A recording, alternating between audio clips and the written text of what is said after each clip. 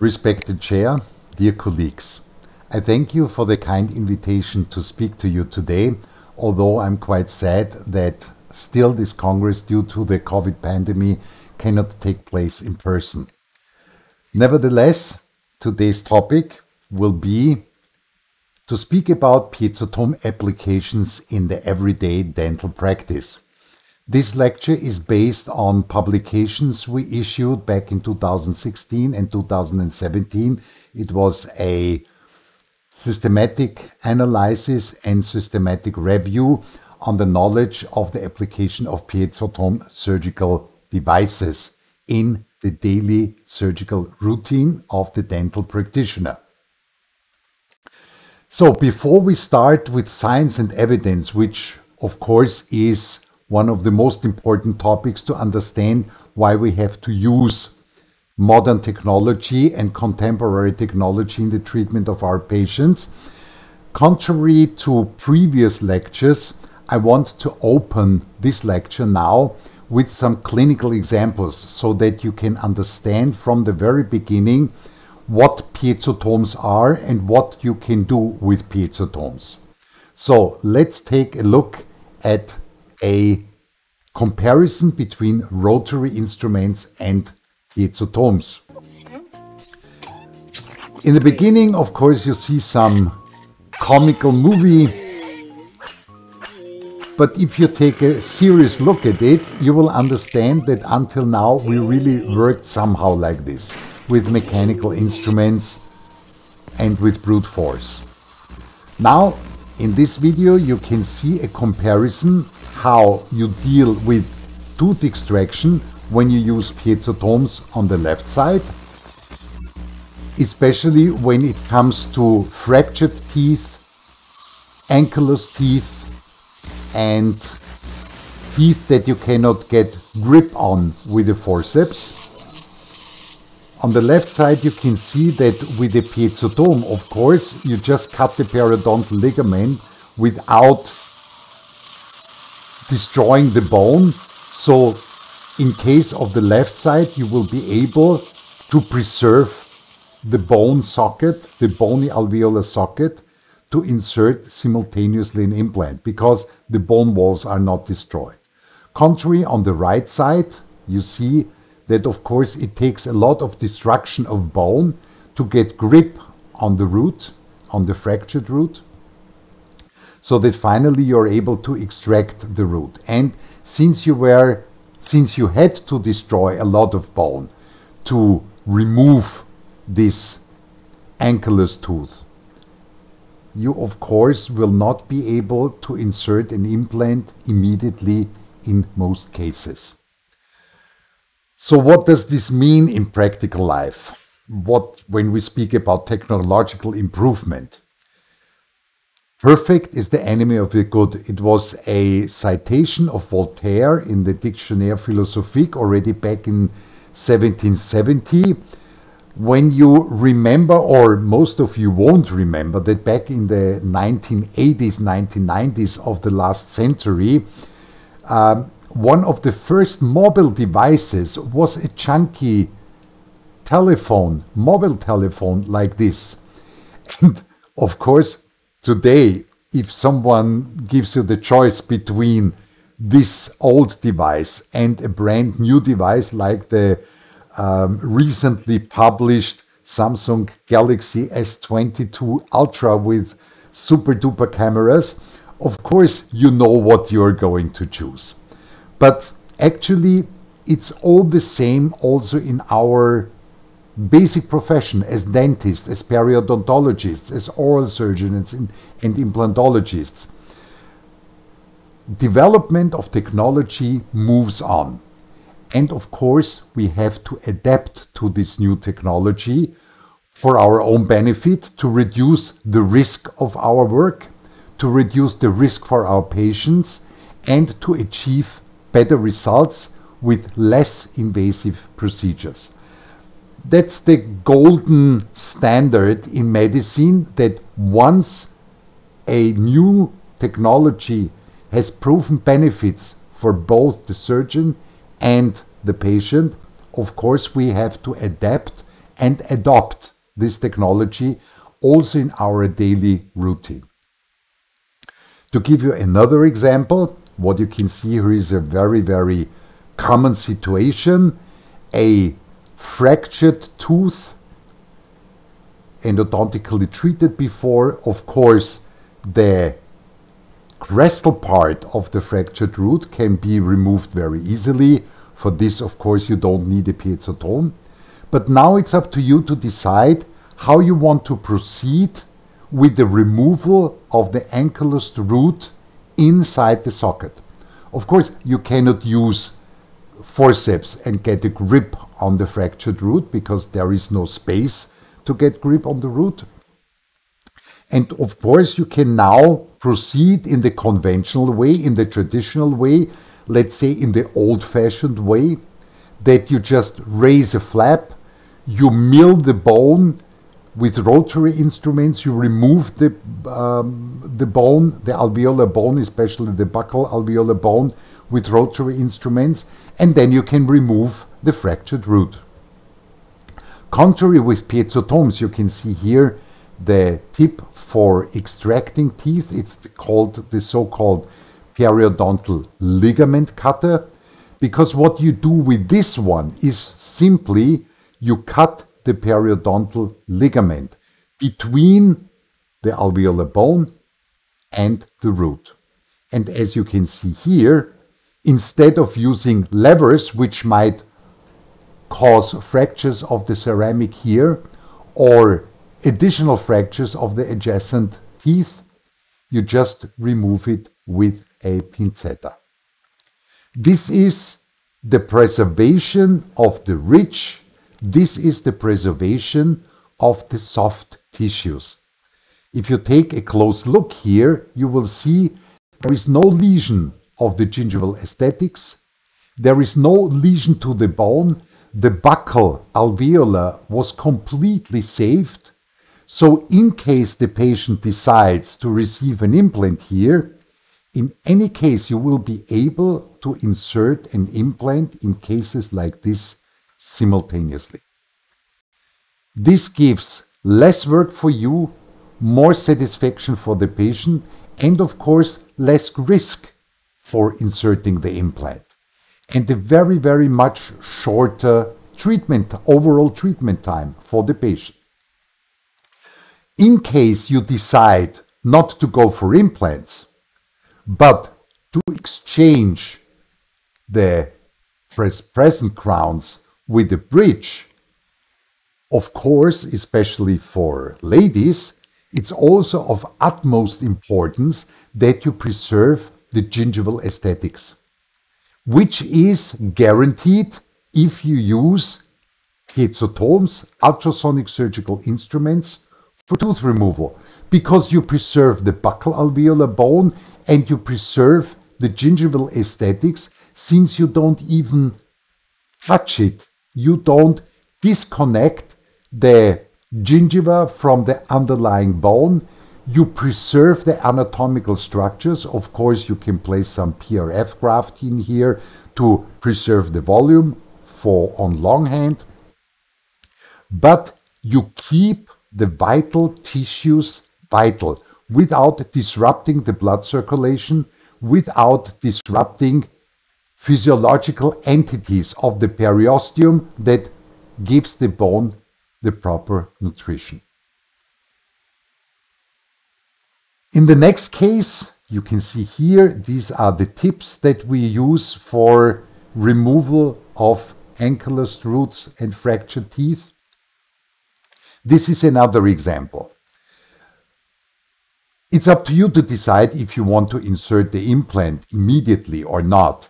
But I give you this example because it shows you very, very clearly why piezotome surgical instruments are the new gold standard, starting with simple procedures like tooth extractions.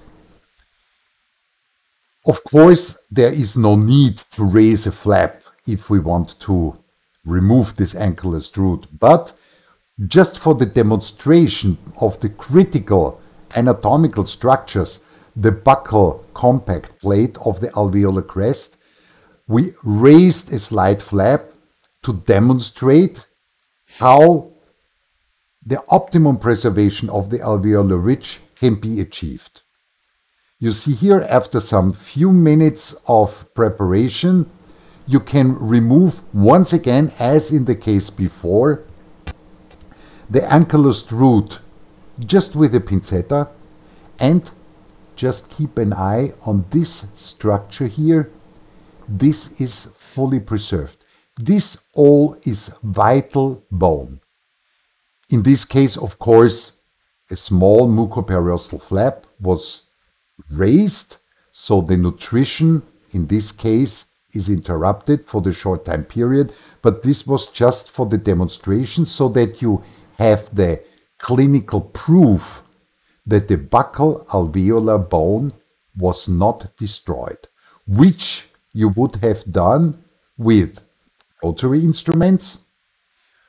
And if you even if you use periodontal ligament cutters, hand instruments, of course there would be multiple fractures of the bone and also some forces, unnecessary forces exerted to the adjacent teeth which is, of course, in case of prosthodontically treated teeth with ceramic crowns, pretty critical because when you use levers and periotomes and you just hook up on the adjacent crown, you can fracture the ceramic of the crown, which then will lead to a discussion with the patient what you're going to do with the renewal of the crown. If it's the patient's fault, if it's the dentist's fault, who is going to pay for this? This is in the daily routine, unfortunately, also a lot of times a very, very crucial question.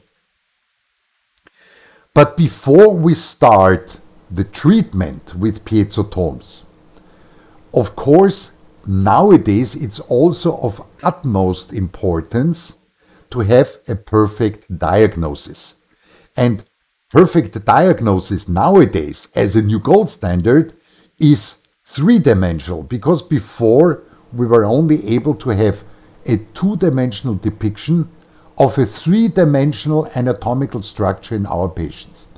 For this, it's just not the main topic of this lecture, but I just want to give you a short hint why 3D prevails over 2D diagnosis.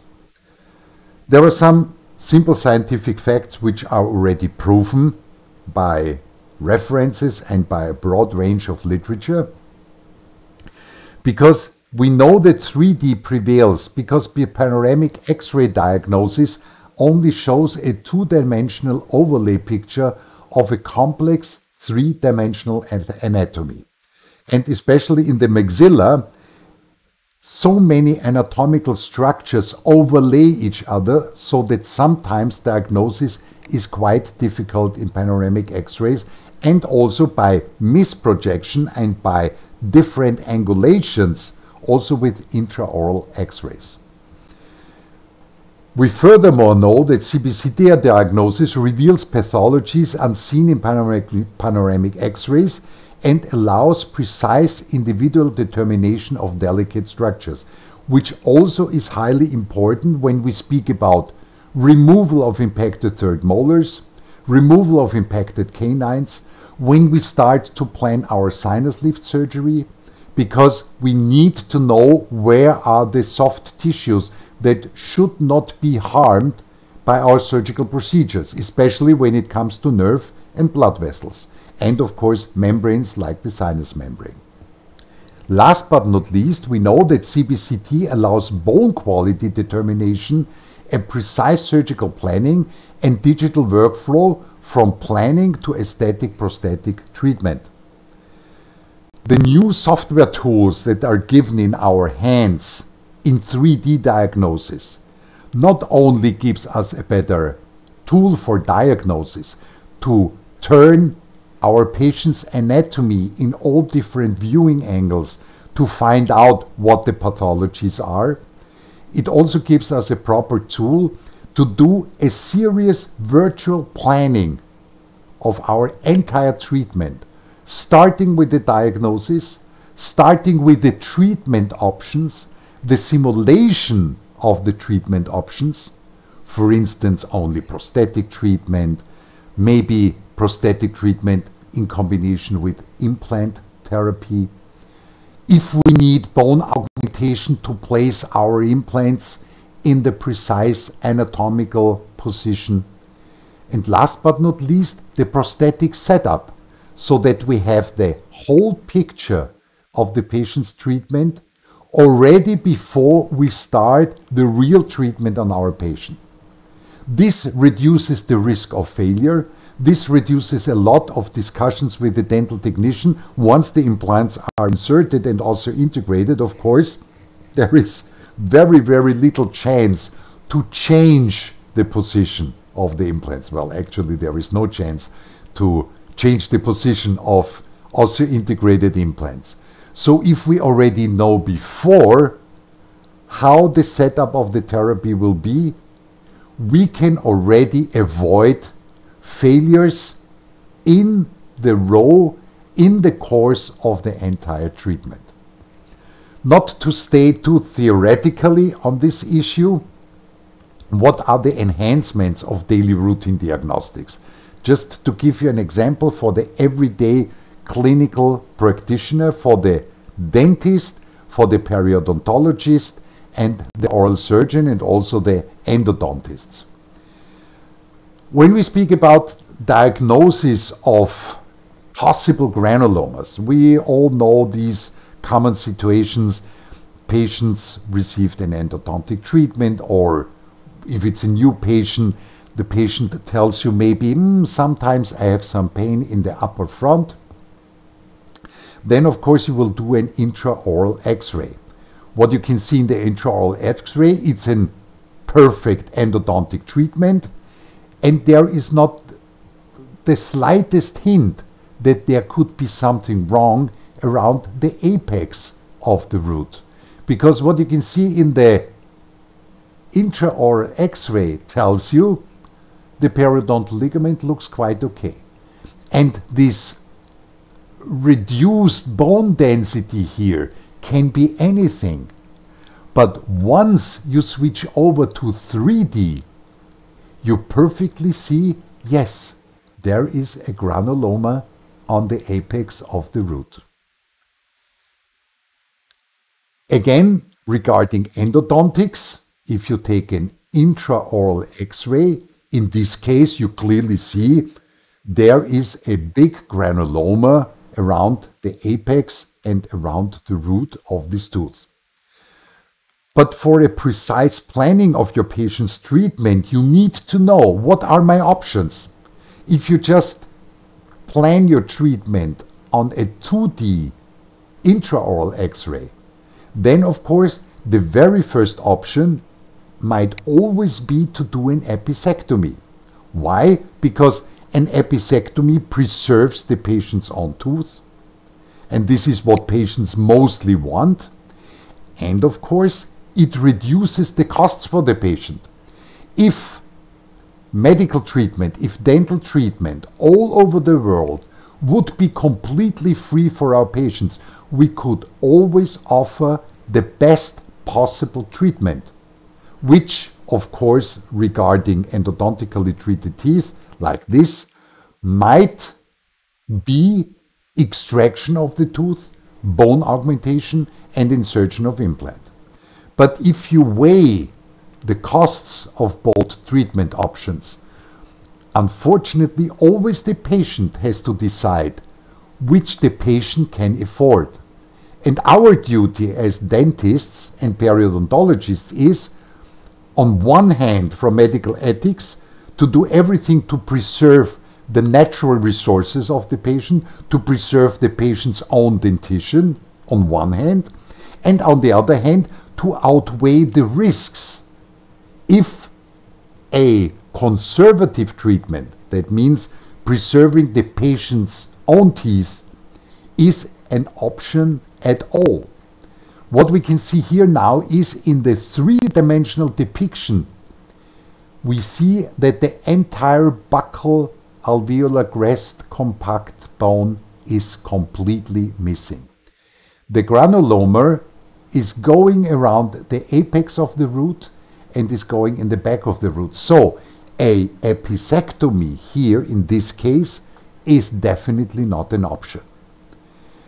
Now, maybe the patient will ask you, okay, I will lose the tooth. There is no way to preserve this tooth. There is no way to do a treatment with a good chance for longer persistence of this tooth. In the next step, the patient will ask you, yeah, but on Dr. Google, I read you can extract the tooth and insert immediately an implant. But with a three dimensional depiction, now you have the 100% proof that an immediate implant insertion is definitely not an option because the buccal bone plate of the alveolar crest is missing. No way to insert an implant simultaneously.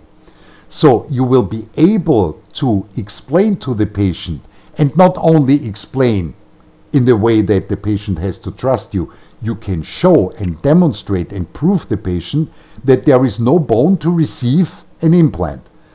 That means that the patient will need bone augmentation surgery first, and after some healing period, approximately six months, the patient can receive the implant only later on with an additional healing period of another three to four months. This gives you and the patient much more safety for a straightforward and almost fail-safe treatment. Because, of course, once again, there are different options. You can also do a bridge. When it also comes to the diagnosis why, in a certain case, maybe after some years of symptom-free endodontically treated teeth, you might suddenly see a granuloma in the third in, in two-dimensional x-rays and also then later on in the third dimension. Of course you want to know, but why did it happen? This tooth was asymptomatic for a very long period in case the patient is in, in treatment in your office already since maybe 10, 12 years. You received the patient, you've seen, okay, this uh, tooth was endodontically treatment. Uh, in this case, as depicted here, not perfectly endodontically treatment, but it didn't show any symptoms and it didn't show any granuloma buildup around the apex.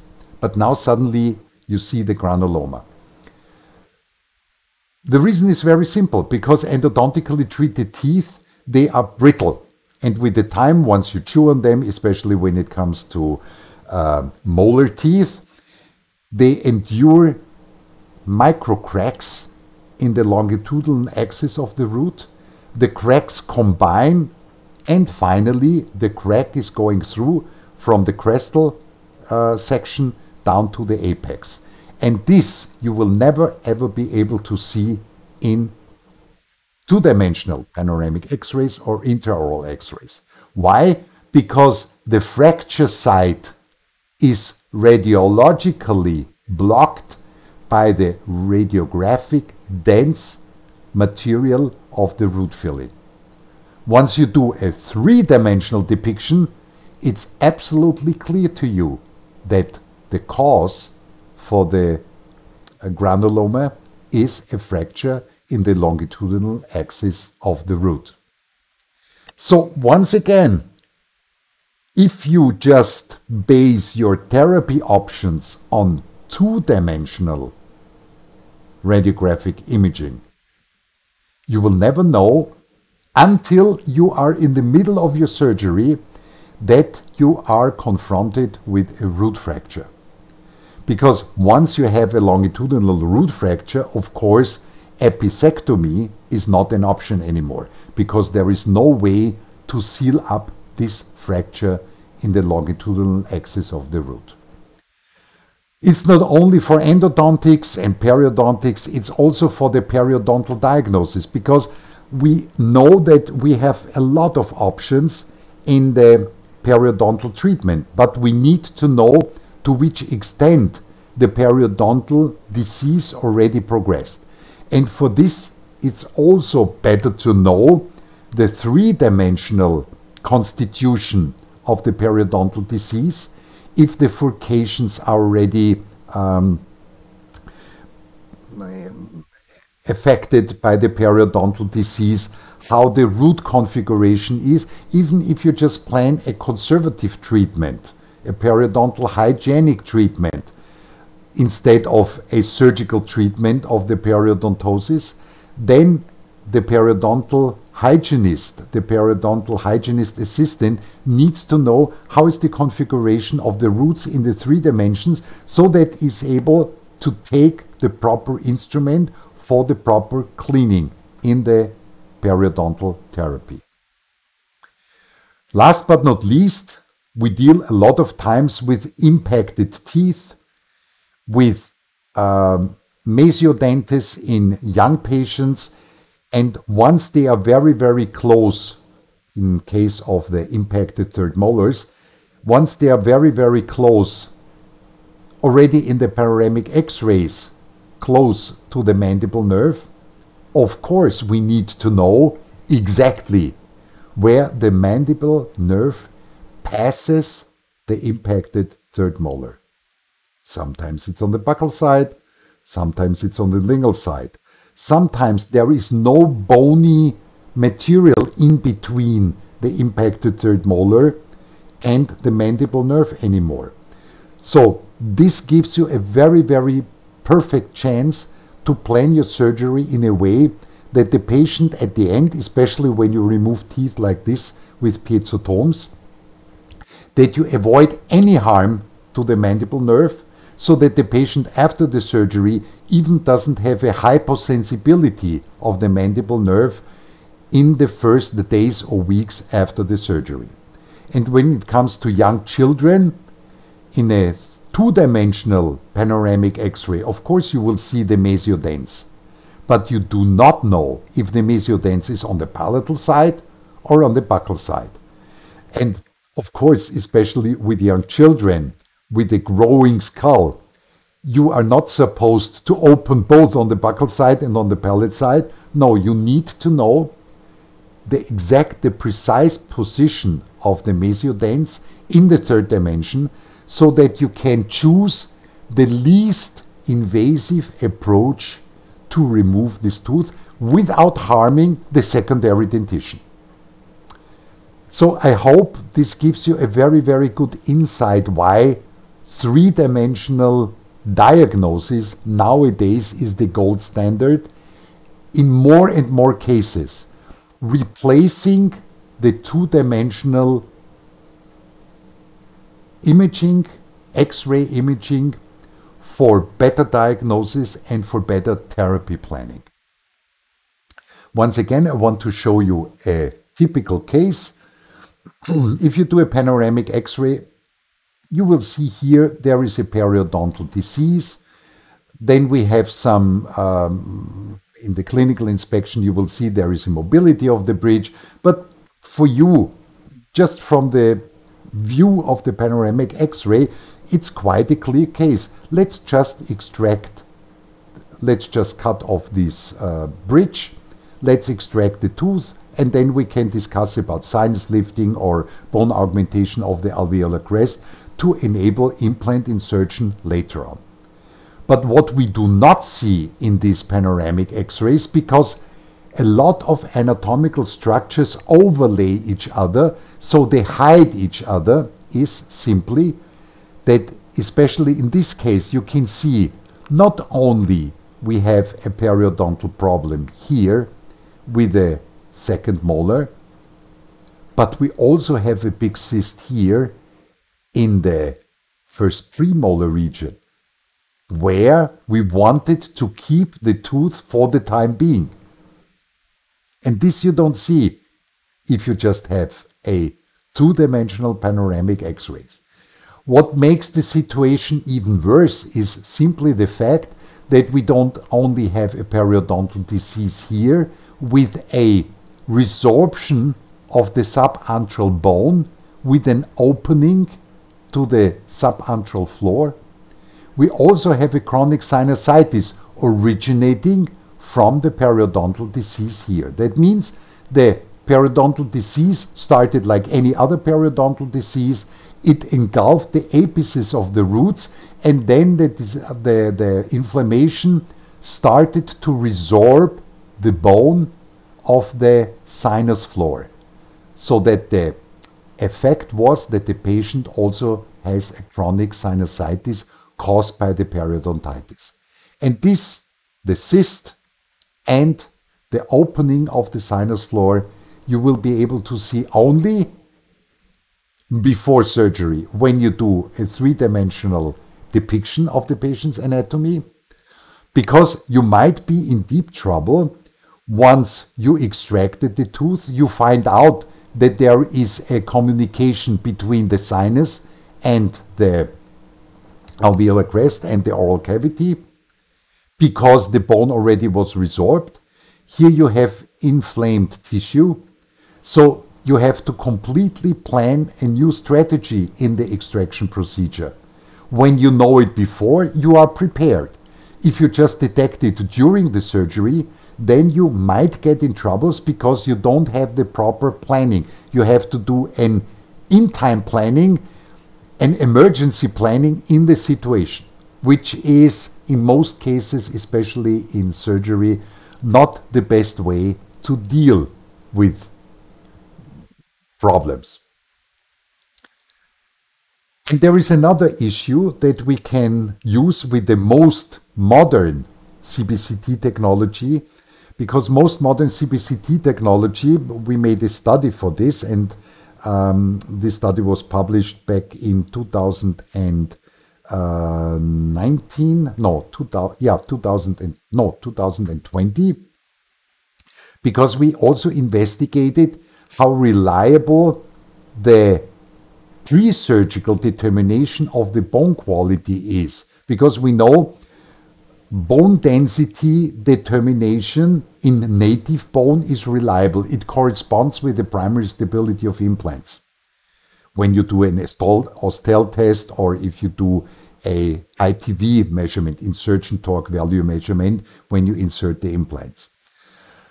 But as usual, we need to know this already before we start our surgery because once again, Dr. Google tells the patient, okay, you can insert implants and you can load them immediately.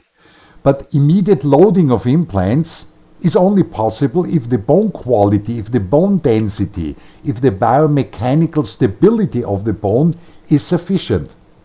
And if you can find out only during surgery, which means you open the site, you drill, and during drilling you find more or less resistance in the drilling process, and finally, you insert the implant. Sometimes you can insert the implant, especially in the maxilla, simply with the hand because the bone is so soft, or you need your ratchet because the bone quality is very high, so you need a lot of force to insert the implant.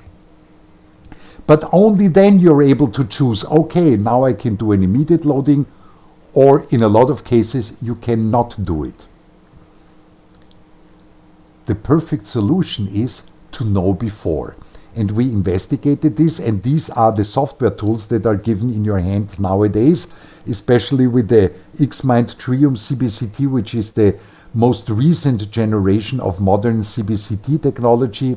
You can detect the bone biomechanical bone quality not only by values, but the software gives you very, very handy tools in your hands so that by a color scheming, you can see, okay, if it's green, the bone quality is very, very high. If it's more reddish, the bone quality is very low. In this case, you can see one of our patient cases in the course of our randomized clinical studies. You see here the sinus lift was done with our intralift surgical method. And this is the remaining alveolar crest. And you can see here the bone density in the native alveolar crest is very low, while the bone density after regenerating the, uh, the bone with the bone graft material is much, much higher. Of course, it's not high enough to do immediate loading, especially not in the molar region, but it gives you a better idea also about the healing times. If this would be all reddish, the healing time should be about five to six months. If this all is more greenish, that means the biomechanical stability of the bone is very, very good. Then you can choose to reduce the osseointegration time for the, uh, for the implant to approximately three to four months. The nice thing is you know all this before you even start your surgery. You can show it to the patient, you can prove your predictions by simple depicting the real bone quality of your patient. And this is such a handy tool, not only for more safer and more predictable treatments, but also for long time success in implant surgery. But let's get back to piezotome surgical protocols in everyday clinical practice. I will guide you now through step by step one of the typical indications to use piezotomes nowadays. As I told you before in the presentation of the 3D um, issue regarding diagnosis on 2D um, radiologic Im uh, imaging or 3D radiological imaging, the patient, of course, wants to preserve his own teeth. Maybe he, the patient already invested in crowns, although the crowns are not that nice looking anymore. But anyway, we know apisectomies have a very, very high success rates. So the patient, of course, might know this once again by Dr. Google. And we need to do the surgery in a way that we can already once again, preserve the anatomy 100%. So what are the difference to conventional apisectomies with rotary instruments? This already starts with using piezotomes for raising the mucoperiosteal flap. So instead of taking a hand instrument, we use the BS4 tip for piezotome, which is used also for bone scraping. And you can see here with hand instruments, it's almost impossible to prepare such a perfect mucoperiosteal flap. The periosteum, which is the carrier of the bone regeneration, the periosteum is the only tissue that delivers the pre-osteoblasts to the bone healing site. And this we have to preserve 100%. In the theory part, in the scientific part of this lecture, a little bit later on, I will prove you why there are so many differences between hand instruments and uh, instruments, starting with raising mucoperiosteal flaps. In the next step, we take a bone chisel, an ultrasonic bone chisel. It's the BS5 tip for piezotomes, because this is one of the tips beside this crest splitting tips that I will uh, present then at the end of the of the lecture in the crest split procedure.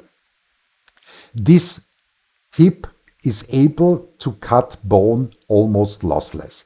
And instead of just taking a rotary instrument, a burr, and remove all the bone around the apex to access the apex and the granuloma, in this case, we simply cut a window a bony window. It's the same procedure as we would do if we wish to transfer an autologous bone block to an augmentation site.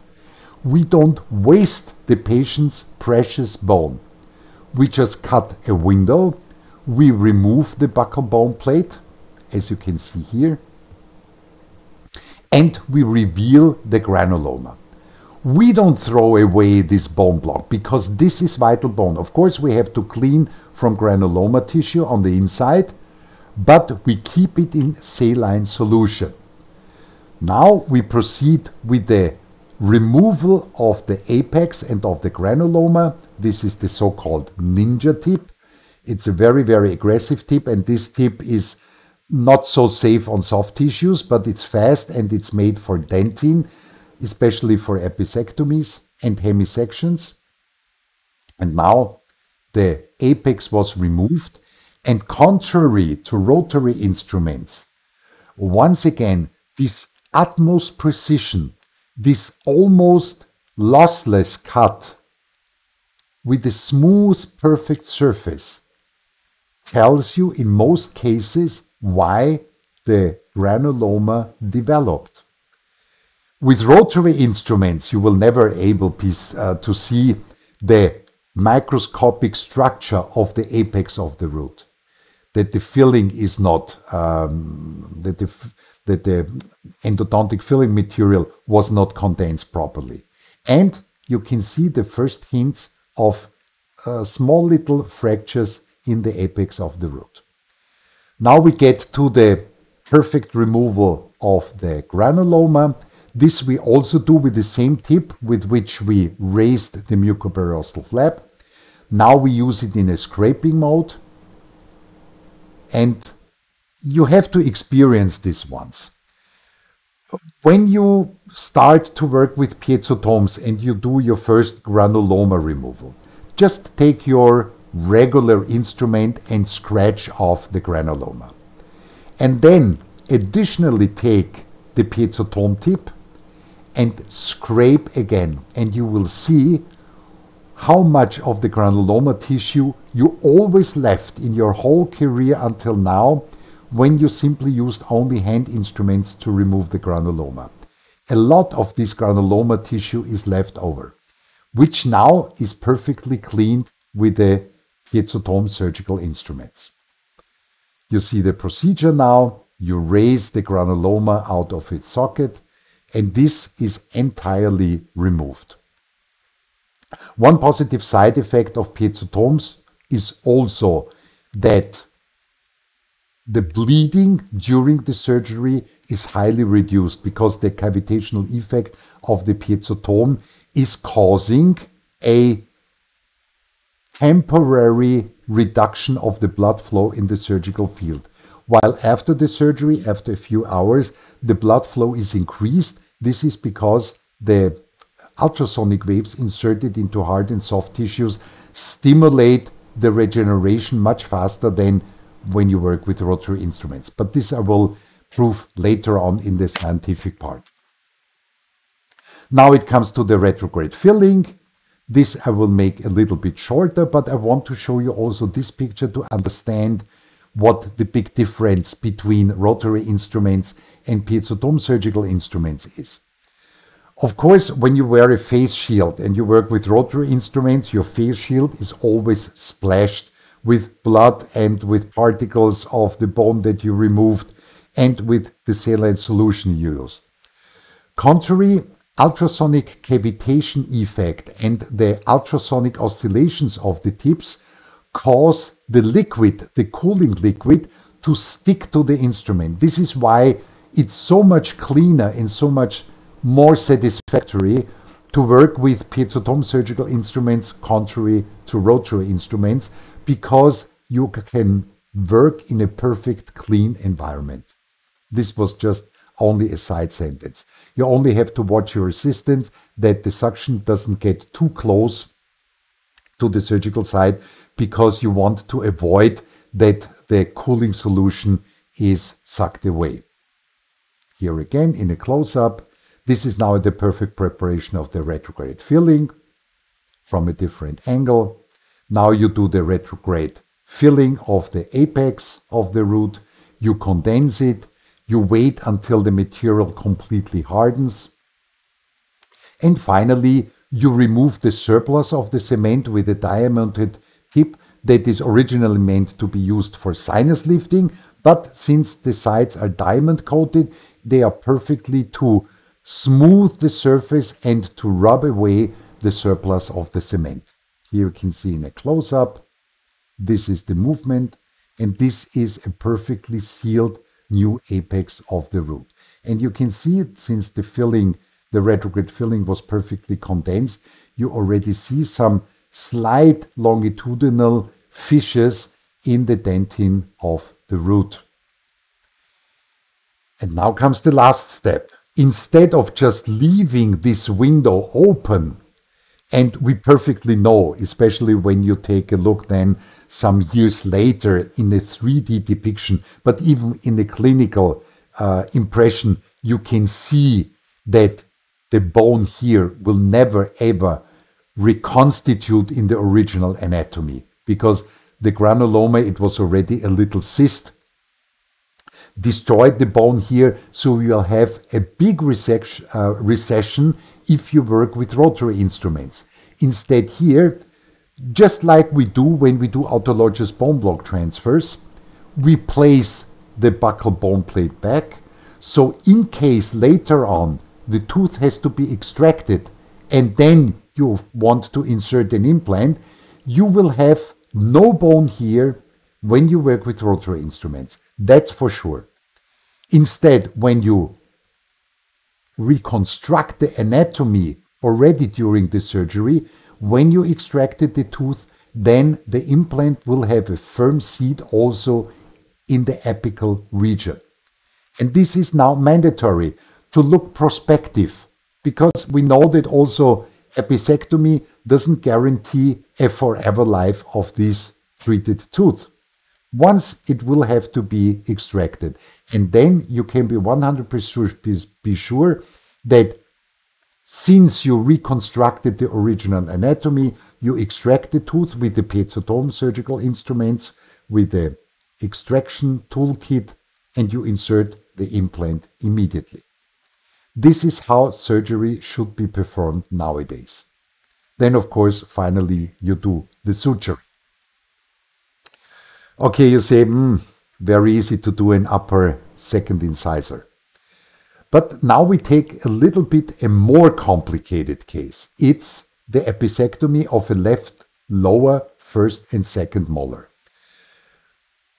Once again, we use the almost completely bone lossless free cutter, bone cutters for piezotomes. So you see here the first molar, the second molar is here in the back. And first we start to cut a bony window.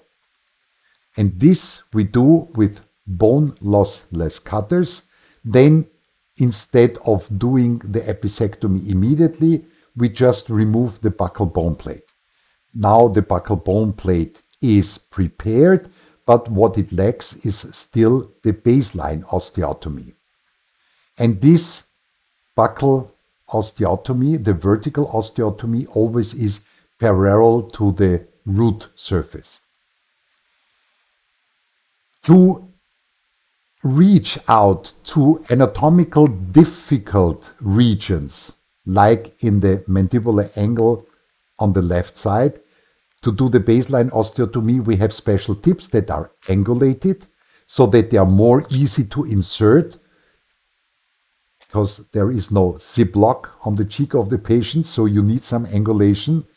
So we use this one to very, very easily do the baseline osteotomy. You can see here the baseline osteotomy is marked. Then we complete the baseline osteotomy. And once the bone block is mobilized, you see by the perfection of the bone cut, by the lossless bone cut and the smooth osteotomy surfaces, you can remove the bone block and you already see here the alveolar. And you can see here the apices of the roots. The bone block is removed.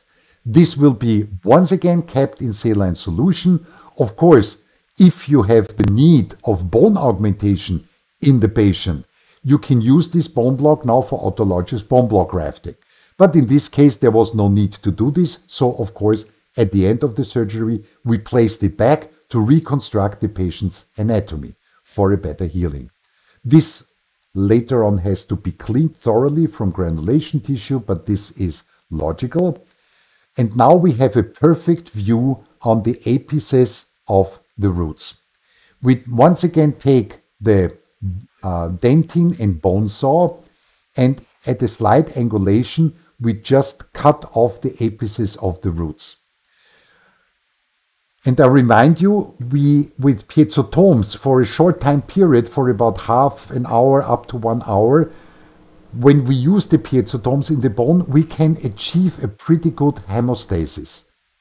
This is so important because when you remember when you do uh, procedures like this, especially in the molar region of the mandible, it's a lot of times it's pretty a bloody mess. You see here just a few bleeding, little bleeding, just enough to make sure this is vital bone, that the patient is still alive, but it doesn't obscure your view. You have a perfect view on the surgical side. You can do precise cuts, and this is done now with the uh, BS1 saw. Here you can see when the cut is finished. And finally, you can extract the apices of the roots. This is a case, it's already a little bit older, when 3D dimensional depiction of the patient's anatomy was not that easy and the resolution of the CT scans of the CAT scans and the CBCT was not that good that it could be diagnosed. But this was a, in this case, a surprise. We see a longitudinal fracture of the root. Of course, and this is the typical situation. If at that time when we did the documentation for the surgery, this was already back in 2007 because we had to um, start to collect educational material for our academy training programs for dentists, oral surgeons, and maxillofacial surgeons for the surgical protocols with piezotomes. CBCT, in such a perfect resolution as I have showed it before, was not available. It's more than 15 years ago. So this was a surprise. Of course, during the surgery, it's very difficult to ask the patient, okay, um, let's say the prognosis for this tooth is not so good. Let's extract the tooth. No, because the patient only consented to do the apicectomy. And once you try to get a consent in the intrasurgical uh, situation, in Austria at least, it's not possible because this consent is not valid because it was taken in an outstanding situation for the patient where he's not able to rationally judge which therapy option is the best. So, of course, in this case, also we had to proceed with the apicectomy. But in fact, this tooth, after 15 years, is still in, and this tooth, after two years after the uh, apicectomy, we had to extract. So, these are now the apices of the first molar.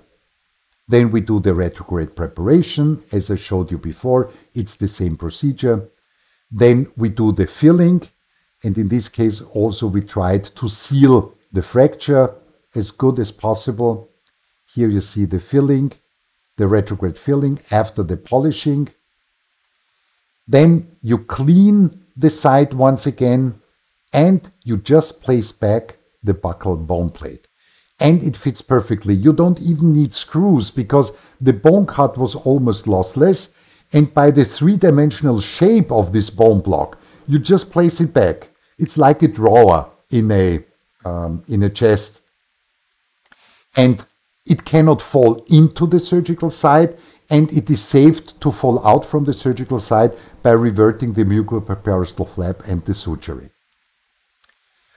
So I hope this gave you a very, very good impression how modern surgical procedures with piezotomes can achieve a much higher precision and a much better surgical planning and surgical performance with the least trauma and the least uh, trauma to the anatomical um, to the anatomical structure of the patient.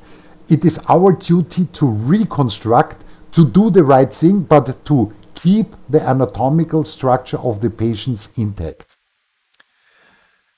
Now, for the first time, we get to the basic science of bone healing, because we also have to understand how bone heals so that we know why piezotomes in oral surgery are so superior to rotary instruments. My basic profession as oral maxillofacial surgeon is to reconstruct uh, smashed faces. You see here This was a polytrauma. Every single bone of the facial skull was smashed and fractured. This is hours of reconstructing, putting together the puzzle, and then inserting titanium plates and uh, titanium screws to stabilize the fractures, to give the patient his face back again. But actually, from the standpoint of the bone, there is no difference what we do as dentists, periodontologists, and oral surgeons. We insert titanium screws not to stabilize fractures, but to stabilize prosthetic treatment. And from the standpoint of the bone, the bone doesn't care if it was a fracture that is stabilized by titanium plane, plates and titanium screws, or if we insert titanium implants to stabilize prosthetic treatment. And this you always have to keep in mind. I mean, it looks so much different what I do here and what I do here, but from the standpoint of the bone, it's exactly the same. So how does bone heal? If the bone has a fracture, or if you simply drill a hole into the bone, or if you extract a tooth, the bone does not care. It's a lesion to the bone. That means, first, of course, you need to have a bleeding because the bleeding is the very base to attract the blood vessels to form connective tissue, which we call in case of the bone the callus. So once the callus is formed, the connective tissue is formed, the blood vessels grow in and start to organize the collagenous basic fiber tissue of the bone. And only if the collagenous basic texture of the bone is reorganized and healed in the next step, and this is caused by the periosteum, because the periosteum sends the pre-osteoblasts to the traumatic site, we start to mineralize the collagenic fibers of the bone tissue. And once the fracture is healed, of course, when you load the bone, you have a constant reorganization and remodeling of the bone. It's a general medical knowledge, and of course, it's a general dental knowledge that an injured bone cannot heal without immobilization. Just imagine you have a fracture and you don't get a cast, the bone won't heal. You need a fracture hematoma. Nowadays, the better fracture hematoma, of course, is PRF, platelet rich fibrin, uh, Professor Choukroun, because this is necessary to attract the ingrowth of blood vessels. We all know this from the dry extraction socket syndrome. If there is no bleeding, the patient will come back some days later, you will see black bone, and the black bone causes pain. You just scratch until you have a proper bleeding because you need the fracture hematoma for proper bone healing. This is for vascularization and then the peri periosteal induced bone formation. If we take a look at the histology of bone, the bone, every single trabecula, the compact bone, the small trabeculae in the sponges bone, every single bone plate is covered with periosteum from the inside and from the outside because periosteum is the only tissue that enables the mineralization of the bone. Then we have the osteoblast layers, which are the main part of the periosteum.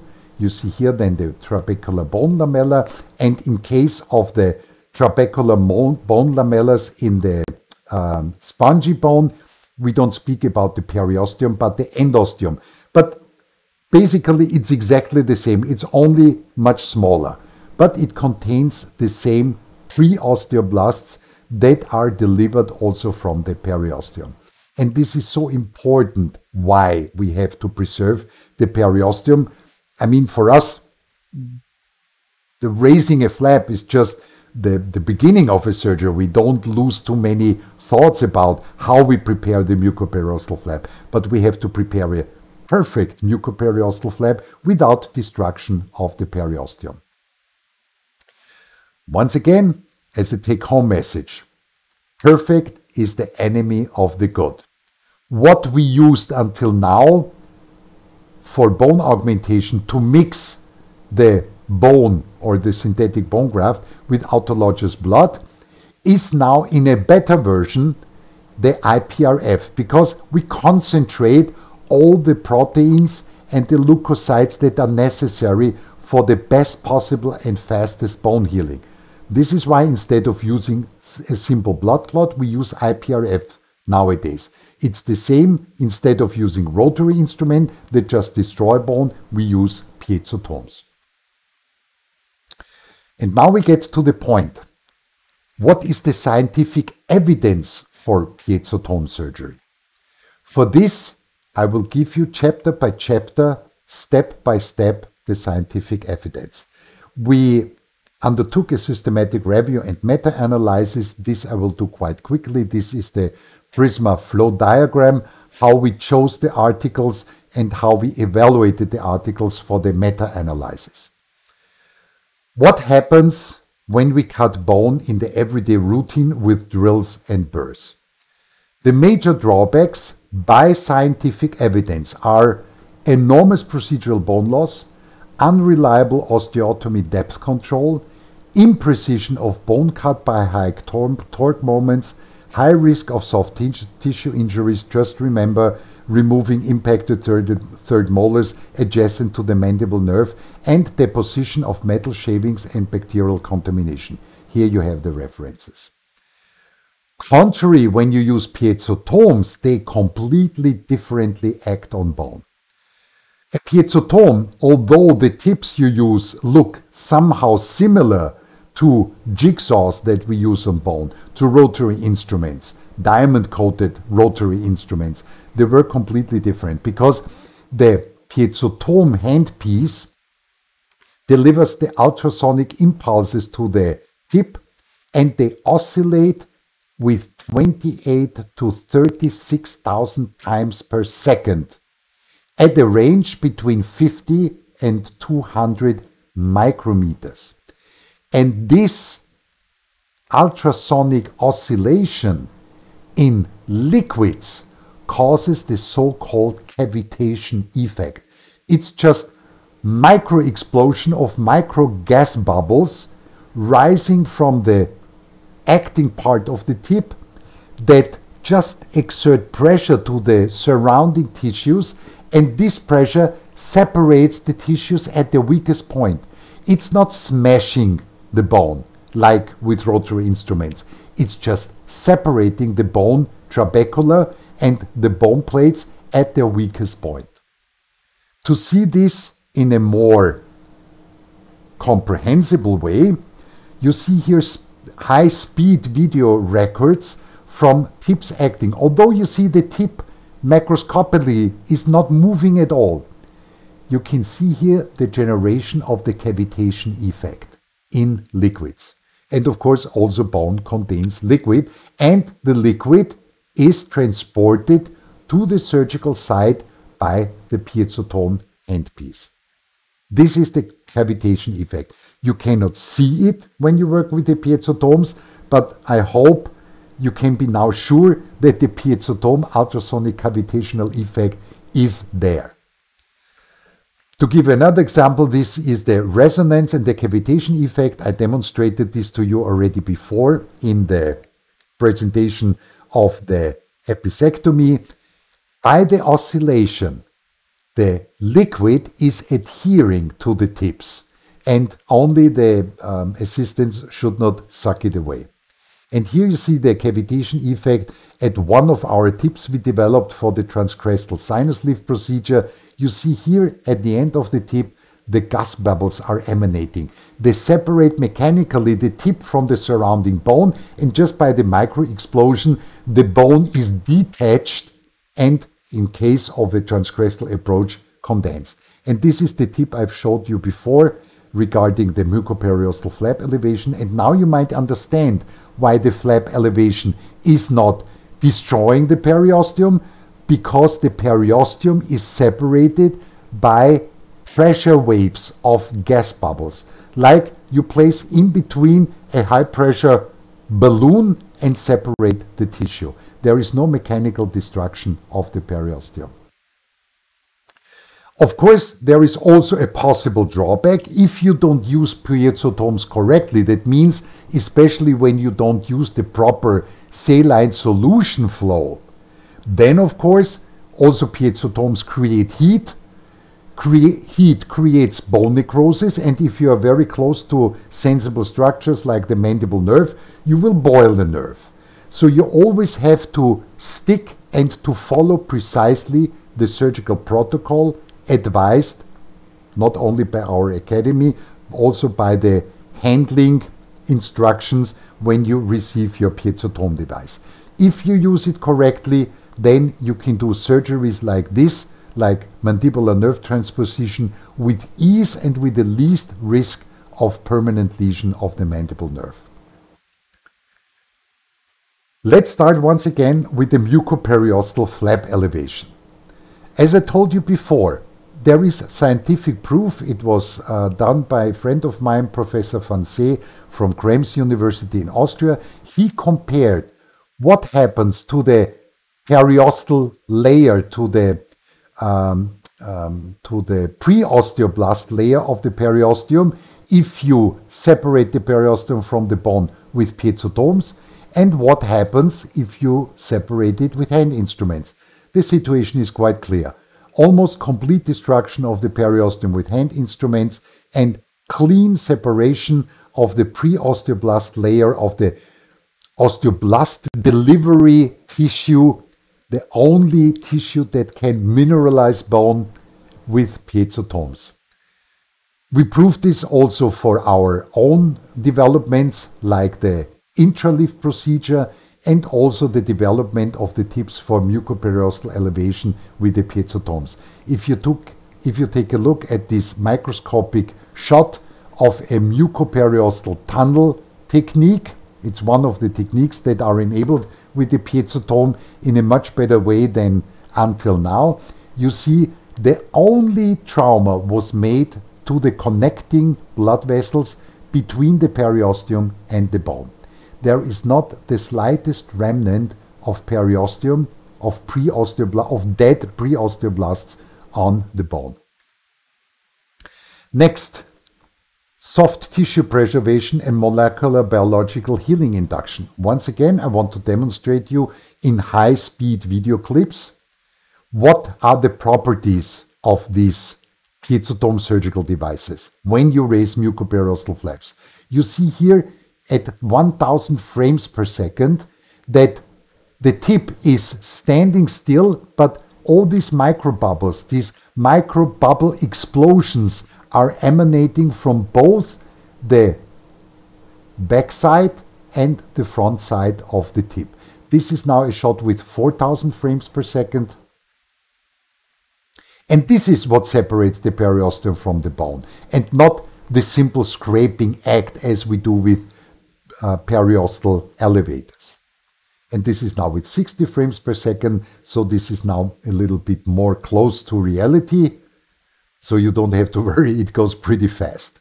And much cleaner and much easier than ever before with mucoperiosteal elevators. But this is unfortunately something you can see only in special videographs taken with high-speed cameras and which you can only experience by the ease of preparation when you use piezotomes in your daily routine. Let's speak about procedural bone loss. I told you before, and this I can make very quick because this is obvious. If you prepare an autologous bone block, either for opening a site to do an apisectomy or for autologous bone block transfer, uh, for, for these cases it's even more critical, then of course, simply by using burrs, simply because burrs smash bone and crush bone and they have a certain diameter and they remove bone which you cannot recollect anymore. You see there is a big difference of the outcome of the autologous bone block harvesting. With rotary instruments you lose sometimes more than 50% of the available bone which you urgently need for the augmentation procedure. Instead with piezotome surgical instruments, you lose in case of using the saw, which is the most fastest way to cut bone with piezotomes, almost no bone. and with certain tips, some of the tips uh, which were developed by my research group, they 100% cut bone, bone lossless. You lose no bone for the later on augmentation procedure. And since we did also a comparison with lasers, unfortunately also with lasers, you lose a lot of bone beside the bone necrosis caused by the heat uh, created by the lasers on the bone. Maximum soft tissue uh, protection cutting selectivity. For this, I simply show you a clinical example.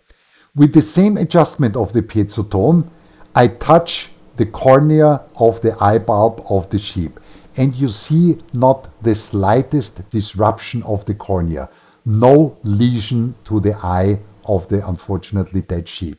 And with the same adjustment, you see the, the action of the piezotome was not interrupted. I can cut bone. This is the so-called cutting selectivity of piezotomes. It has something to do with the oscillation range, the 26,000 to 36,000 oscillations per second, which makes it almost impossible to put lesion to soft tissues. Let's speak about the quality and speed of bone healing, which I stated before in my opening showing the clinical cases. This is also nothing like wishful thinking. This was proven by for instance, Professor Salvador Nares, a very good friend of mine, professor at the University of North Carolina, Chapel Hill, one of the most renowned research institutions for maxillofacial surgery, he undertook an experiment. He simply took in an animal experiment rotary instruments and piezotomes and he just made cuts into the bone. And then he investigated which type of treatment of osteotomy device gives the best possible and the most speediest healing. And he found out that using piezotomes increases the speed of bone healing histologically significantly compared to rotary instruments. Okay, this is a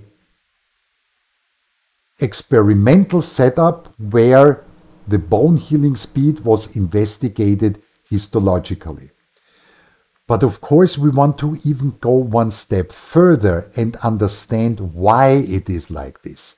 And there is a second investigation which was performed by Professor Preti already back in 2017. He presented the histological results regarding the osteoblast activity so, what did he investigate? He cut bone with rotary instruments and he cut bone with piezotomes. And then he was investigating both the number of the osteoblasts and the activity of the osteoblasts. And as you can see here, after seven days, the osteoblast activity at sites cut with the piezotomes was more than double time higher than with rotary instruments. After two weeks, the osteoblast activity and osteoblast number was almost four times higher than with rotary instruments. And already 56 days after, still the osteoblast activity was significantly higher than with rotary instruments. So this is now why you know that bone healing speed, once you cut bone with piezotomes, is significantly higher. Not because of some magical effect. No, it's because ultrasonic waves stimulate bone tissue growth and bone tissue regeneration and also soft tissue regeneration. This is used in orthopedic surgery for a very, very long time. If you have a complicated bone fracture, then we know simply by using ultrasonic waves transduced at the safe wavelengths of the piezotomes into soft tissues and bone, speed up the healing, and sometimes it's the only way to make complicated fractures heals that without ultrasonic stimulation wouldn't heal at all. Last but not least, we also have to speak about post-surgical patient morbidity. When we changed completely from rotary instruments to piezotome surgical instruments back in 2005, 2006, suddenly we observed that when patient came back from impacted third molar surgery or some other surgery, they reported less pain and less swelling. Of course, this was just a clinical impression, so we based this on a randomized clinical study which was published back in 2011. Um, we made a split mouth study on, uh, with comparable impacted, hor horizontally impacted third molars uh, in our patients. One side we uh, did the surgery conventional with rotary instruments, on the other side with only piezotome surgical instrumentation. And we evaluated the results when we take the pain and swelling.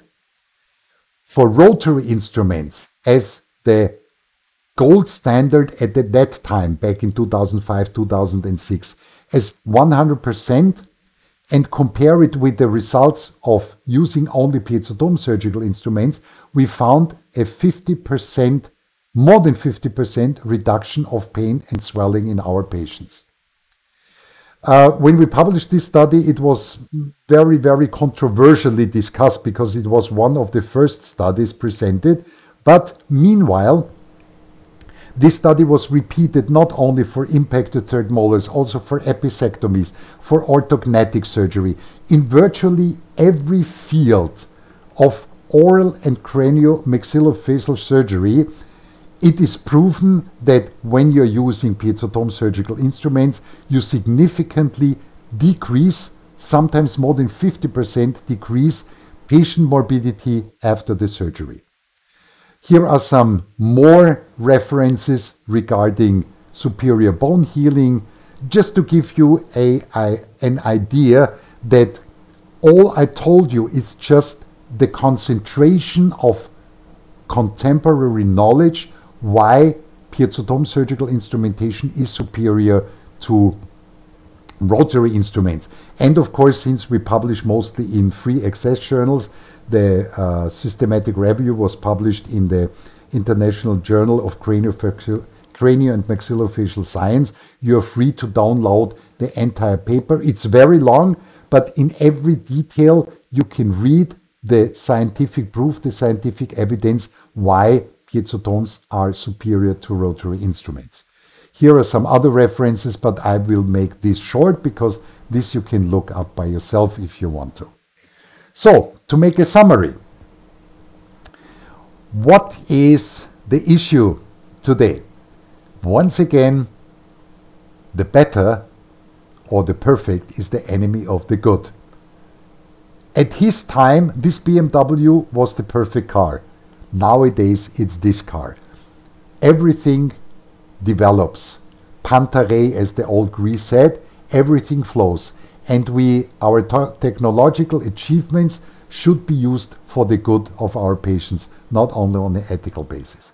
Let's make a short summary. What are the advantages of piezotome use in our patients compared to rotary instruments? We have a minimized thermal bone necrosis.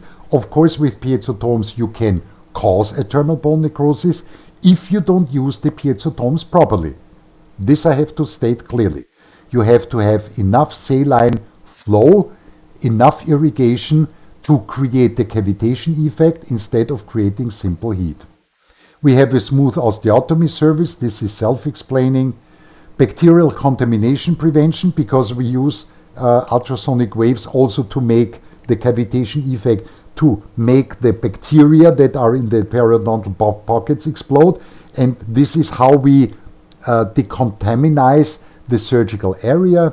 We have an improved bone healing. I demonstrated this before. High precision of bone cut design. Try to cut an S or a V shape or any kind of shape you can imagine with rotary instruments. With the piezotome, you can do this.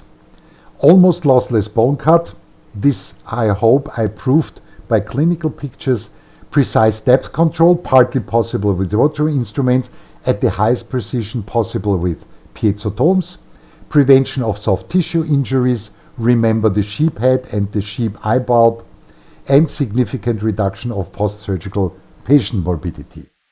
So this is why I clearly have to state, and I stated this already some 10 years ago, but piezotome surgery, piezotome surgical instruments are superior to rotary instruments. And as the time flows, we have to adapt to this new evidence, clinical evidence, for the benefit of our patients. As a take home message, at the current state of scientific knowledge, not hope, not expectancies, but scientific knowledge and evidence, piezotome surgery outclasses traditional rotary instruments and lasers on molecular biological micro and macroscopic level significantly by improved bone healing and provides the least post-surgical morbidity and intra and post-surgical complication rates because we also preserve the soft tissues. That means piezotome surgery is the new gold standard. Now let's speak about the indications. Let's get back again from the dry scientific evidence to the everyday clinical routine you're interested in.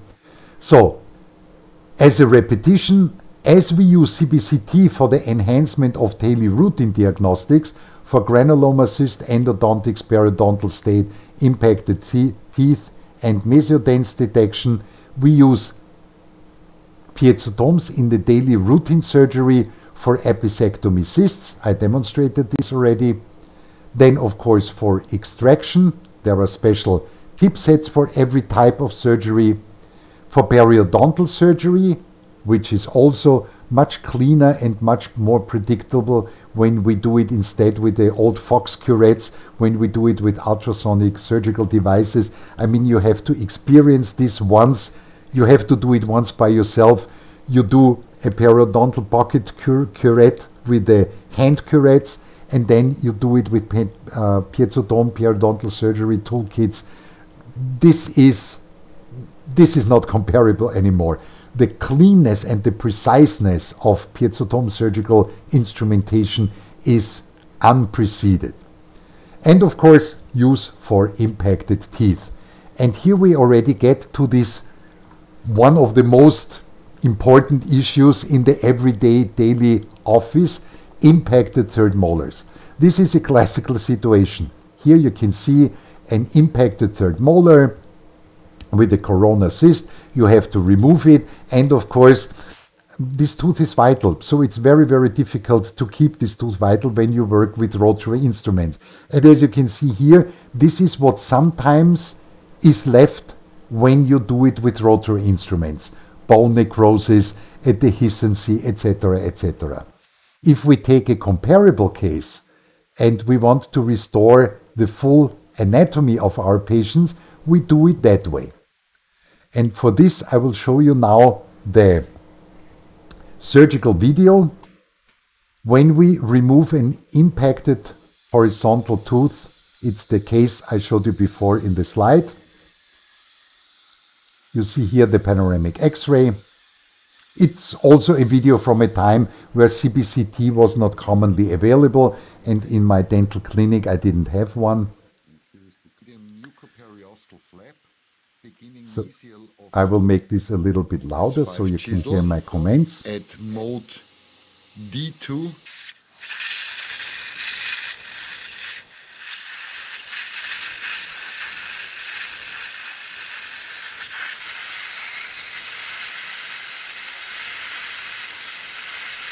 And as you have seen before in the uh, yes, cutting procedure for the apisectomy, we do exactly the same. Instead of milling away the bone all around uh, the impacted third molar and um, the, the second molar here, we just do a vertical cut to remove the bone plate. So, when we do the soft tissue closure, we are not in the critical area where the dehiscencies can occur. The baseline osteotomy, we use the DS2 saw. Once again, remember the apisectomy of the left side, first and second molar. I demonstrated. Here is the baseline osteotomy. When we take the spatula and remove the bone block here.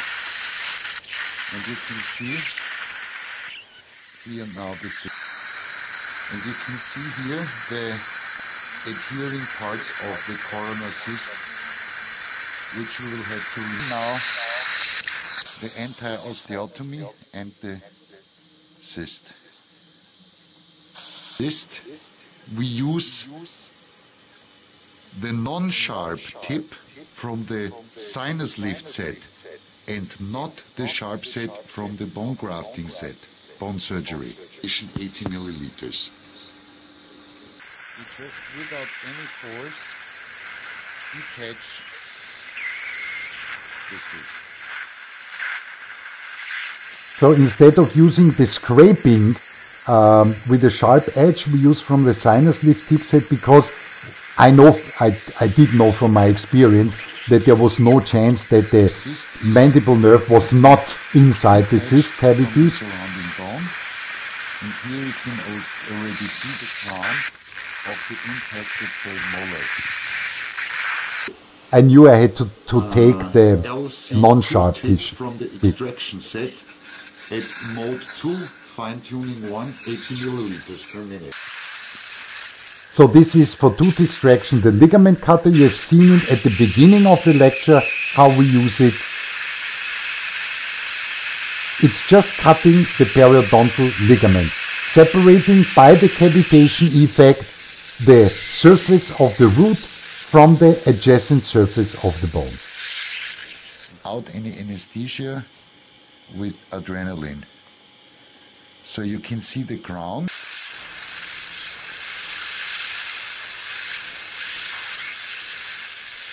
We are still in a safe region. And now the tooth is born. Without any force. And here it comes. The working time until now was 9 minutes 50 seconds. Okay. Here is the tool. Hmm. Okay. The SL4, I think. So now we detach the cyst from the surrounding bone and we perfectly know also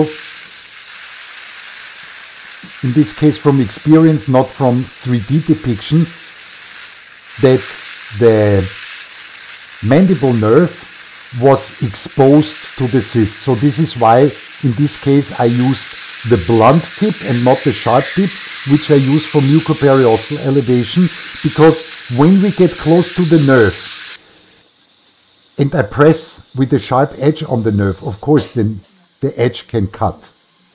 So I always stay on the maximum shape size. And the attached vessels completely unharmed. And here you can see the nerve.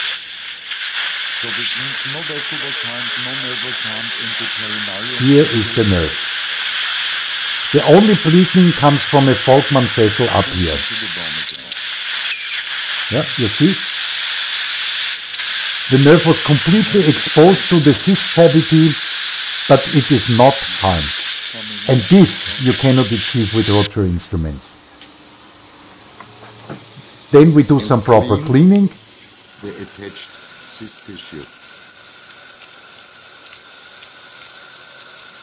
For this we use the sharp-edged mucoperiosteal elevator or bone scraper. We now take a collagenous sponge and place it right on top of the nerve without any pressure.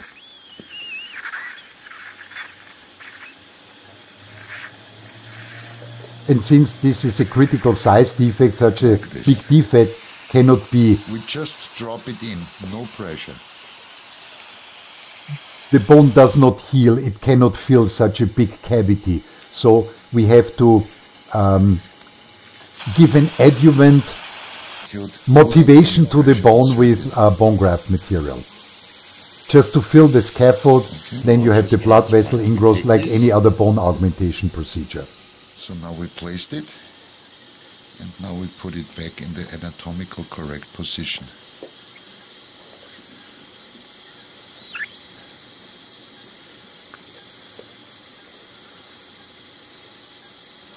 Mm-hmm. Okay. And what you can see here now is the osteotomy is so precise that you don't need to fix it with any screws. You can press it. You can see what I do here. You can see I press it and it doesn't move. So no need for screws or for any other type of attachment. You see, I press inside, I press inside. No way that it moves, okay? Absolutely precise. Then we put back the flap, do our sutures, and we are done. And netto working time was now 45 minutes. Okay, I hope this was impressive enough to show you, of course, this is not something you do every day because the cases like this are quite rare. But with this video, I want to demonstrate how safe it is to do surgeries like this where the surgeon always fears mm, the chances are quite high that I ruin the nerve. Yeah, it's so how easy cheesy. This is another case example uh, preparing an impacted canine on the palatal side. So the surgical procedure is that you just reveal the crown of the tooth. Then you do some splitting of the tooth because normally with rotary instruments you will have to remove half the palate to get access to this tooth. And once again you can see here the so-called ninja tip. It's a quite aggressive tip which shouldn't be used adjacent to soft tissues, nerves, etc. because this um, has a 50% mechanical. It's not only the cavitation effect because if you cut enamel and dentin, you need a much higher power and you need mechanical force to separate this. So this is only for uh, working on tissues that have to be removed. So the coronal part of the impacted tooth is removed. And the rest is then loosened with the periodontal ligament cutters. You see there is also a little hook here and is completely removed. Now the milk tooth is removed and since you didn't destroy the bone at all. You just removed, you have a hollow space of the removal of the impacted canine. That's the only hollow space you have in the bone. All the rest of the bone was kept as it is. It was not destroyed, it was kept as it is, keeping the perfect anatomical structures. Of course, you can achieve primary stability for the implant, you can insert the implant simultaneously, the trauma for the patient is less. You don't need to have a second surgery for augmentation and maybe a third surgery for insertion of the implant. So this reduces the overall treatment time for this patient from up to one year down to three to four months.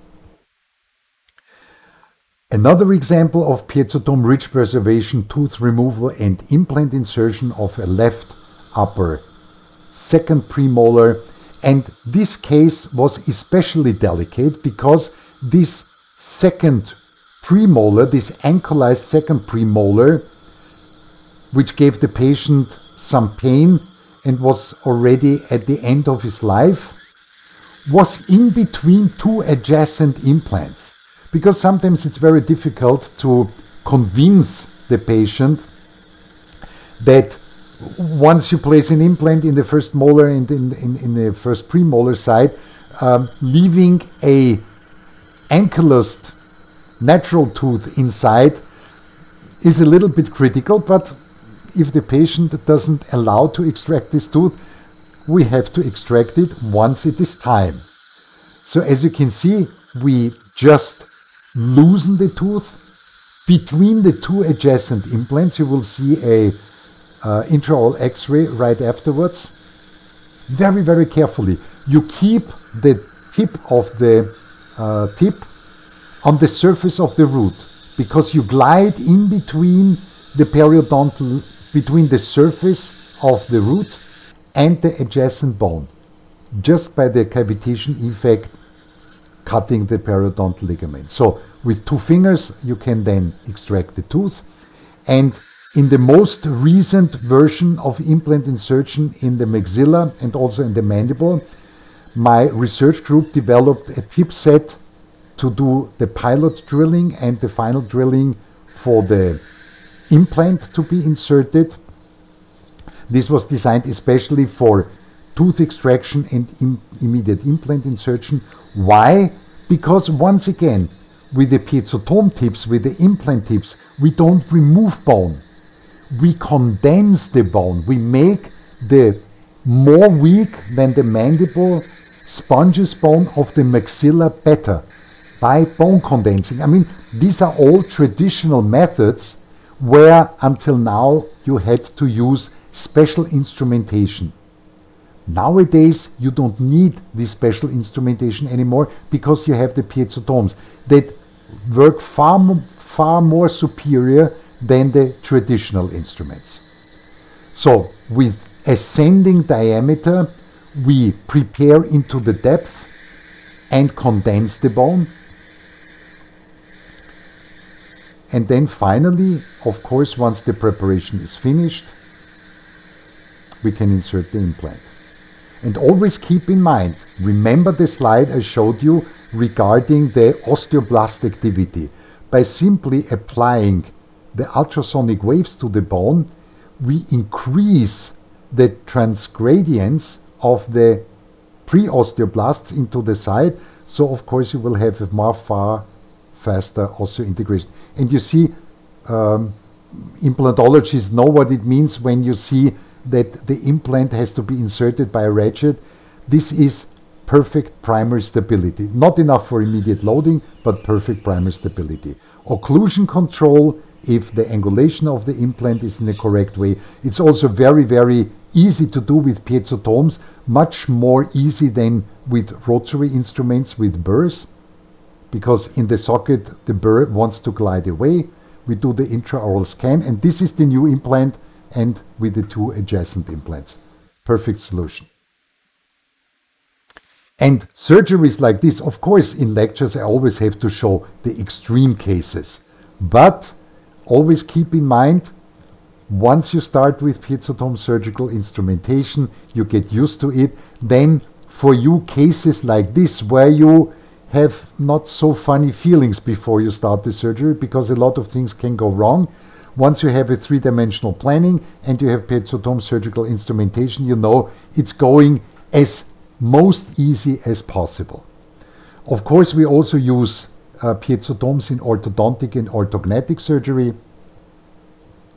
With a piezocision tip set, for this I give you a short video because this is, I don't know if it's a topic in Bulgaria, but um, to enhance orthodontic tooth movement, especially in the United States, is very, very popular. But would you ever do a surgery like this to cut the bone in between adjacent roots to speed up orthodontic treatment? Personally, I have to tell you, I refuse to do it. I never did it like this. But with the development of the piezocision tips by Professor Dibart from France, a very famous orthodontist, in cooperation with periodontologist he developed this tip set. You just make slight incisions. And if you have a very crowded orthodontic situation, of course, also this you can do planning in a 3D um, in a 3D depiction of the patient's anatomy. You can also then produce a surgical guide for the piezotome tip, and then you just do the monocortical osteotomy, the weakening of the bone by simple slits of the mucoperiosteum. You don't raise a mucoperiosteal flap, you just slit it, and then you do the uh, monocortical osteotomy. And since it's so minimal invasive, you don't detach periosteum from the bone, you just weaken the bone. The nutrition of the bone is kept intact. And this is why, with this method, the speeding up of orthodontic treatments, the enhancement of orthodontic treatments, especially of very complicated tooth movements like rotation of canines, etc., is predictable to do with piezotomes. Guided bone regeneration. Let's do this fast. You can use uh, piezotomes in every case of guided bone regeneration, vertical alveolar crest splitting, intralift, sinus lift, subperiostal tunnel technique, mandibular nerve transposition, distraction, sandwich osteotomy. I never ever use in oral surgery and maxillofacial surgery rotary instruments anymore. Let's take a look at the surgical protocol for a flapless crest split and widening technique. It's a typical situation. You see a very narrow alveolar crest, but of course you want to insert implants. You depict in the third dimension the mandibular nerve, which is here signed in red, and you already plan the proper position of the implants. But you see the space, let's say the alveolar crest is too narrow. So what comes next is, until now, you did you did autologous bone block transfer. That means you had the first surgery, you took out the bone blocks from the ramus mandibulae on the left, on the contralateral side, because this is on the right side, so you had to take it from the left side. You screwed it on top of the alveolar crest, and then you had to wait for six months until you can insert the implants. Now, with piezotome surgery, we are able to split bone which is on top of the crest as narrow as one millimeter, because these are the tips that were developed by my research group. They cut bone, oh, oh, they cut bone, definitely bone lossless. So what we do is we do a mesiodistal incision. We just flap open the side, the mucoperiosteum, to identify precisely the top of the alveolar crest. Then we do a mesiodistal vertical osteotomy with the CS1 tip. Then we do buccal relief osteotomies. You just have to imagine it works like uh, creating a door blade. And contrary to the crest splitting techniques published in the current literature and published also in surgical videos on YouTube, we don't raise a mucoperiosteal flap. We don't want to distract, we don't want to disrupt the entity of the periosteum to the bone because once you raise a mucoperiosteal flap, you interrupt the nutrition of the bone. And this is an absolute no go. Whenever possible, always try to work flapless because interrupting the nutrition of the bone, the separation of the periosteum from the bone, leads to procedural resorption of the bone, procedural atrophy of the bone, which counteracts our target to preserve the bone. And this is why we developed this type, because bone is elastic. Don't ever think bone is something mineralized and stiff. No, stiff bone, um, it's called the glass bone sickness. This is a sickness if bone is only mineralized but doesn't contain collagenous fibers. The basic fabric of bone is collagenous fibers, as I presented to you before in the uh, scientific session. Now, once the bone was distracted, you see it can be easily distracted with our tips, we then use the implant drills counterclockwise because we don't want to scrape off bone. At this surgery we didn't have our uh, implant drills piezotome drills at this time, so we had to use the drills. But once again, you can see from the from the use of the ratchet, this is highest possible primary stability. And this is the secret of long-term implant success. The higher the primary stability the insertion torque value is, the better the prognosis for the implants. so the implants are inserted, they are primary stable, the gaps in between the implants are filled with synthetic bone graft. We mostly use self-hardening bone graft material. Of course, we have to place the cover screws though. And you see, just mesiodistal mucoperiosteal incision, a minimal invasive buccal flap just to reveal the surgical site. This is the self-hardening bone graft material. And this is the least possible trauma for the patient. It's not only the effect of the ultrasonic waves that leads to more than 50% less pain and swelling. It's simply the fact that you don't reach big mucoperiosteal flaps. And when you ask yourself, but how can be a sealed suture, a, a full wound closure can be achieved? This is by the anatomy of the of the sloppy crest, the soft tissue anatomy of the sloppy crest, so that in almost all cases you will be able, even if you work flapless, to close the uh, wound site primarily sealed. And we don't use single sutures, but we don't. Uh, we we use running sutures, and this is now the final result. You see, we achieved a widening of more than 4 millimeters. Down here you can see this, the distracted bone plate, the implant in between the lingual and the buccal bone plate, and this is thick. This is the minimum of 2 millimeters.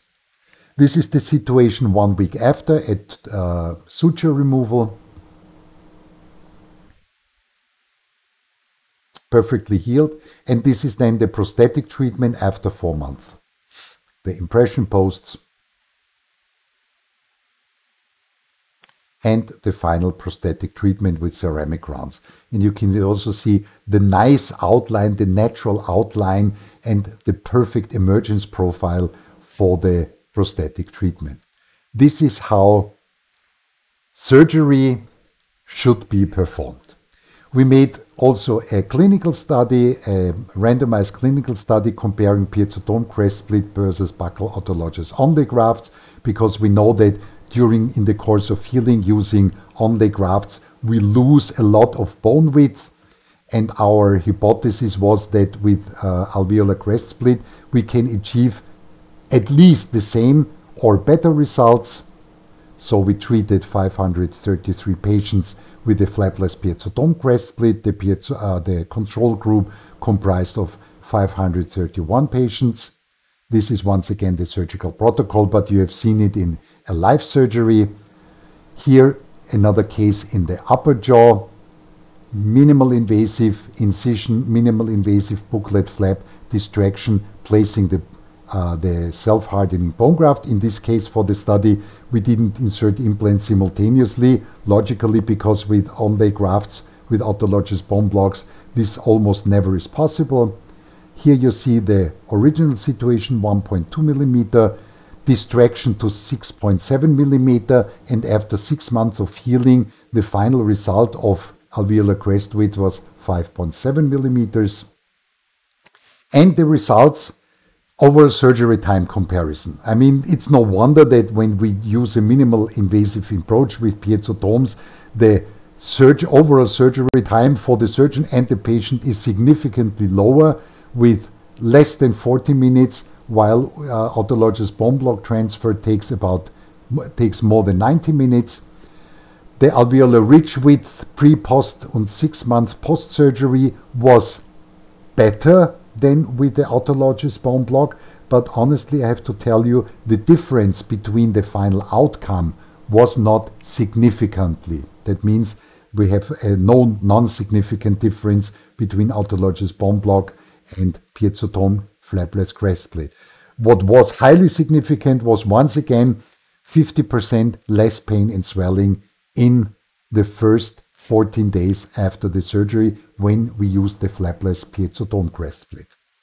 What are the clinical implications from this randomized clinical study? Flapless piezotome crest split is a significant less traumatic alternative to buccal onlay grafting with autologous bone blocks. Flapless piezotome crest split achieves better results regarding final horizontal alveolar crest width, but not significantly. And Flapless piezotome crest split provides significant less surgery time consumption and post-surgical morbidity. For the closure of this lecture, because now it's already almost two hours, and I hope you are still in front of your screens watching and didn't just switch off. I just want to give you a typical case, which also should be a case you should do once you start. We have a uh, alveolar crest height above the mandible nerve of about 12 millimeters. This is then the situation after the surgery. This is the situation when we did the prosthetic treatment 3.5 months after. This is the surgical procedure, once again in photo shots. Mesiodistal incision, vertical osteotomy with CS1 tip. Here you see the splitting, the bone lossless splitting, buccal relief osteotomies. They are mandatory. This you're not supposed to leave out because otherwise you have iatrogenic artificial fracture somewhere in between the distractal bone plate, especially when it's such a narrow alveolar crest of only one millimeter on top of the crest. The distraction with the tips, then the insertion of the implants, placing of the bone graft material, and once again, you don't have to worry. In most cases, you will be able to have a tight wound closure without any additional procedures. In case this is not possible due to uh, the patient anatomy, of course, you can place PRF membranes or um, collagenous membranes. And this is the final outcome, very similar to the video I showed you before. This is then the final uh, prosthetic treatment. In the radiographic follow-up, you can see the situation after one year unchanged, after five years unchanged, and after 10 years unchanged, which is mostly not the case when you use autologous bone block grafting. This is a case in the upper jaw. You've seen it already in the clinical study. Also 1.2 millimeter alveolar crest width. This is immediately after the widening, just to show you, once we had the CBCT scans for the clinical studies, we also did the CBCT scan during the surgery because we wanted to see if we were precisely on the spot where we planned everything in the virtual 3D CBCT planning. And this is then the final outcome, the clinical situation. And once again, the implants perfectly placed right in the middle, thick buccal bone plate, protection against later bone resorption, and the minimum of 2 millimeter buccal bone width for implants in the upper and in the lower jaw. So finally, I come to an end. I thank you very, very cordially for your attention.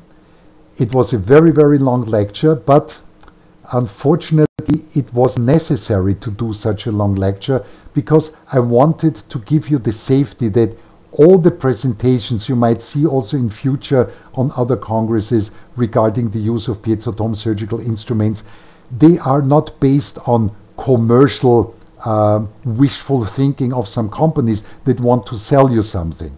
No, it is based on pure scientific evidence.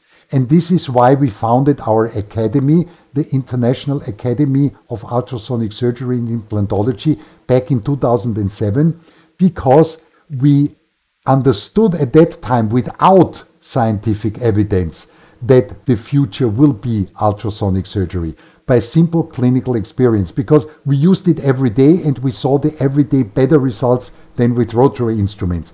And then we started to think, but how can we revive or how can we develop new surgical techniques with less invasive procedures and more predictable results? And this was the aim why we founded our academy. And of course, unfortunately, nowadays, it's not possible to uh, develop new technologies without cooperation of the industry. And this is some kind of uh, disclosure of some um, um, presentation of my conflict of interests. Of course, all participants, the executive board, and all researchers in our academy have to cooperate with companies. Some cooperate, um, most cooperate with the Acteon company because together with Acteon, we found a partner to uh, develop even better piezotome surgical devices, but some of our members also cooperate with other companies like Mectron, etc., etc. So, unfortunately, a development is not possible without the aid of the industry anymore because the resources of our universities decrease and they have not the technological knowledge, for instance, to develop new tips, to manufacture new tips. So you are kindly invited to visit our Academy's webpage. We have a video learning channel where you find all videos regarding teaching how you perform certain types of surgeries with piezotomes and all lectures and all the scientific backgrounds, all our publications and publications published regarding comparison between rotary instruments and piezo piezotomes. This is free access. You don't have to pay. You don't have to register. You don't have to log in. You just go to our webpage and whatever you're interested in, starting with tooth extraction with piezotomes versus rotary instruments, up to uh, bilateral sagittal split osteotomy in orthodontic surgery, you will find all educational material, not only in videos, but also the scientific background and all the reference lists that you might need to, sel uh, to self-reassure you that you are on the right track. I thank you for your attention and now I'm open to ask, uh, now I'm open to answer your questions. Thank you very much.